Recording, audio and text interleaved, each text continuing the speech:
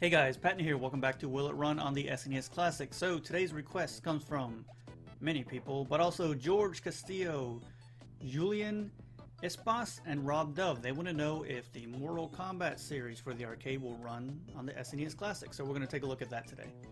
We're going to do Mortal Kombat 1, 2, and Ultimate Mortal Kombat 3 because it's ultimate and upgraded. So we're going to do those three. So over here you see the three uh, games that you're going to be looking for. Revision 4.0 for Mortal Kombat, Revision L3.1 for Mortal Kombat 2, and Revision 1.2 for Ultimate Mortal Kombat 3. So once you have all those on, on your uh, desktop, you have those downloaded, you're going to click Add More Games. You're going to go to your folder where your arcade ROMs are. And let's find MK2-Zip. MKLA4-Zip is what I have. And last, we have to go down UMK3 zip for Ultimate Mortal Kombat 3. You're going to click Open. You can see File Systems here. Just click Import as Archive for all three.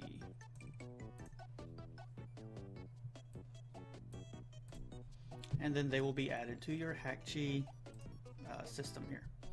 So once you have them on your Hakchi, we're going to rename them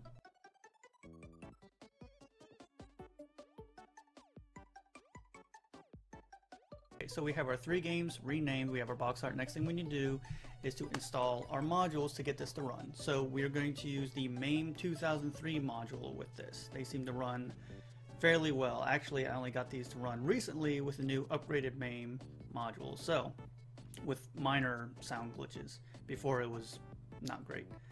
So anyway, in my description I'll have a download link for the arcade modules that you can download and install on your Super Nintendo Classic. So once you have those downloaded, you're going to click the Modules tab here. Install extra modules. And you're going to drag those modules from your downloaded folder into this box right here and they'll populate. If for some reason that doesn't work, in your Hakchi folder, you'll have a user underscore mods folder. You can drag them into that folder and that will cause them to populate in here as well. So once you have that and they're populated into this uh, box right here, you're going to highlight MAME 2003. You're going to put a check in the box next to it. You're going to click OK. After you click OK, a box is going to pop up asking you to hold the reset button down as you push the power button down on your Super Nintendo Classic. Then a bar is going to appear. It's going to start filling in green. Once it's filled up all the way, that means that module has been installed onto your system. So once the module is on your system, the next thing we have to do is change the command line for each game so that it will run with that module when you select it on your Super Nintendo Classic. So the command line is right here. You see slash bin slash zip. You're going to take out the zip. You're going to add MAME 2003 to each game. Last thing you're going to do is synchronize your selected games to your Super Nintendo by clicking this button right here. Same thing, you'll get a green bar. Once it fills up, those games will be on your Super Nintendo and ready to play. So, everything's all set. Let's head over to the Super Nintendo and see how these run. And here we are at our SNES Classic. So, let's take these in order. Mortal Kombat Arcade. Let's see how this runs. Well, that's a good sign. Now you're going to want to mash start here, or it's just going to go through every single one of these ROM checks. So I'm mashing as hard as, there we go, we made it. Okay, good. All right, coin up. You can tell there's a little bit of sound glitching, but it's just a little bit, it's not game breaking or anything like that. So, here we go, Mortal Kombat.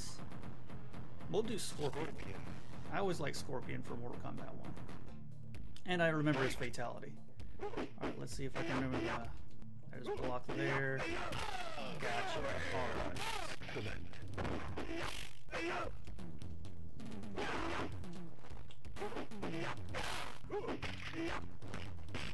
Ooh, he got what? I don't know what hit him, but okay. Oh no, not the Johnny Cage. So it sounds pretty good. I mean, like I said, there's there's some sound glitching. So that Scorpion wins. But it runs really well. It runs a lot smoother than it did before. Before it was so laggy and, and it was just not good.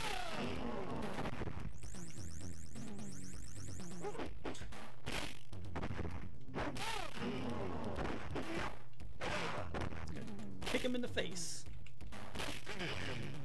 All right, here we go. Scorpion win Fatality. Very nice. All right, let's quit back. We got two more games to check out. Mortal Kombat 2 Arcade. This might be my favorite Mortal Kombat game from the older ones. I really like the um, the PS2 games too. So here we go. Midway presents quarter up. Now you may not be able to hear that very well. For some reason, this runs super quiet. So to try and fix that a little bit, you're going to hit Start and Select to get into your RetroArch menu. You're going to go to Settings and Audio. You're going to turn your audio volume level up all the way. See, this is this is normally how it sounds. Listen. I don't hear anything. So go into this menu, audio, audio volume level. If you hit backwards, it'll take it right to 12, and that's what you want. So now you can hear a little bit better. We're to be Reptile. He was my go-to guy in the arcade. Okay, Reptile versus Raiden. Got him.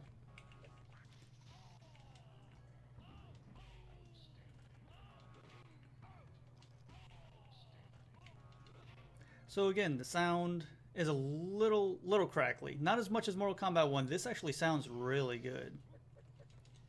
And it plays really well too. Very smooth. Oh boy. Oh boy. Okay, Raiden takes that right in your face.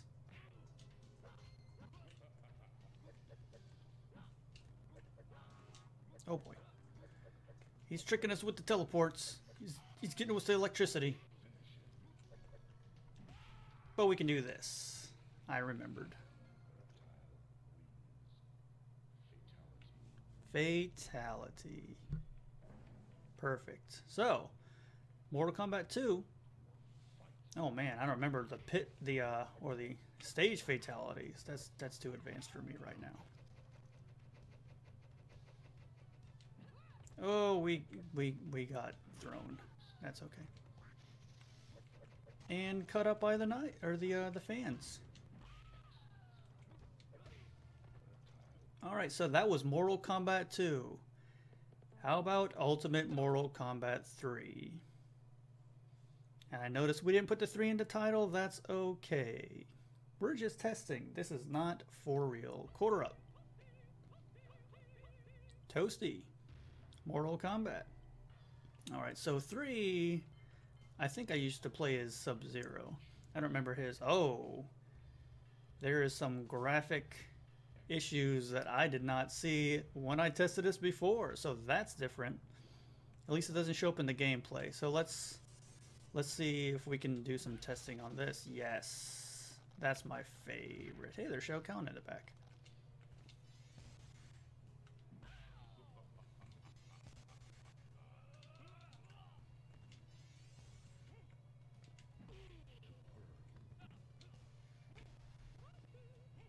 Toasty. Flawless victory. I haven't done that in a while. Oh, that was close. Oh no, Scorpion got us. I don't remember the combos. I like the combo system, I just don't remember them. Scorpion's not doing much. Where is it? Where's that button? Well, there's that. That's not what I wanted though.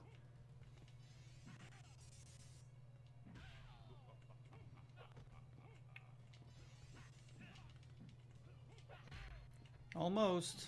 There we go. Just an uppercut. So that weird graphic glitch, that didn't happen for me before. So we're going to quit out. We're going to go back into it and see if that happens every time.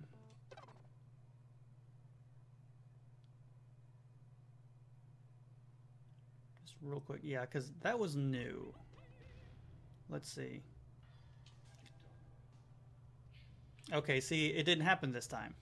So who knows? But as you can see, all three Mortal Kombat games run pretty well. Little bit of sound glitches, but they play very fluid and nice. So thank you so much to George Castillo, Julian, Ispas and Rob Dove for the request.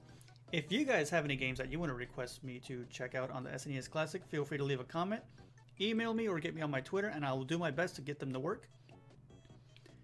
So once again, thank you so much for watching, and I'll see you on the next video.